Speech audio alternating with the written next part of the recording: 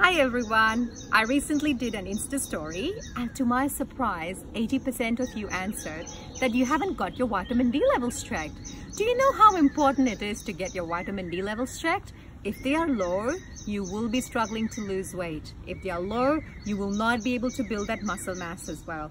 And if they are low, you're going to be irritable, you're going to have joint pain, knee pain, back pain, and all sort of pains.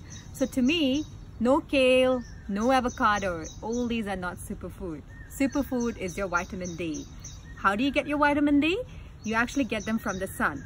Now imagine you wake up in the morning and you are on the run at 8 o'clock to go to office. You come back by 7 o'clock. Did you get exposed to the sun? No, you did not. And you need 30%, 30 minutes of exposure to the sun every day to get your vitamin D.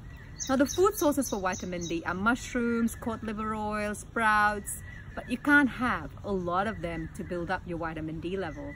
Now, when you go and go to the doctors and you get your vitamin D levels checked, it will say about 60 or 30 or 50. There will be a lot of range. So you want to make sure your vitamin D goes up to at least 80 because it can drop down to 30, 35 very, very quickly. So make sure you get your vitamin D levels checked today or even tomorrow. And if they are low, you get an injection or you go onto the supplement right away. I personally use vitamin D from Vitabiotics and I got it from UK.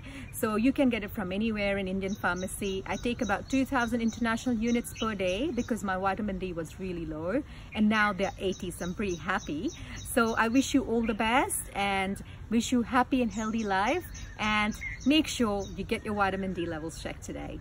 Bye.